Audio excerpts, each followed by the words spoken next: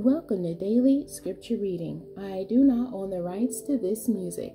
Joel chapter 2, beginning at verse 1 and ending at verse 11. This is the English Standard Version.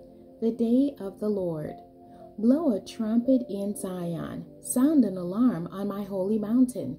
Let all the inhabitants of the land tremble.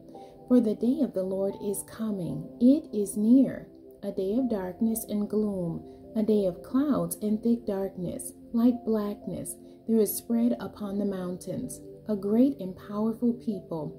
Their like has never been before, nor will be again after them, through the years of all generations. Fire devours before them, and behind them a flame burns. The land is like the Garden of Eden before them, but behind them a desolate wilderness, and nothing escapes them.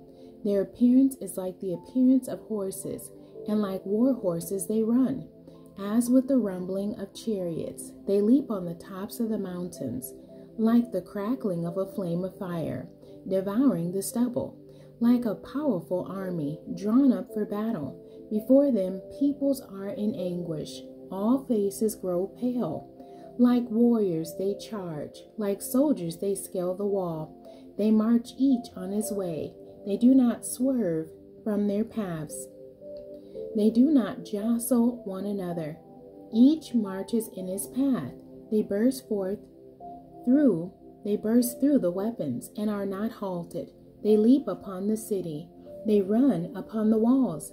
They climb up into the houses. They enter through the windows like a thief. The earth quakes before them. The heavens tremble. The sun and the moon are darkened and the stars withdraw their shining. The Lord utters his voice before his army, for his camp is exceedingly great. He who executes his word is powerful, for the day of the Lord is great and very awesome. Who can endure it? The end. God bless you and thank you for joining me today.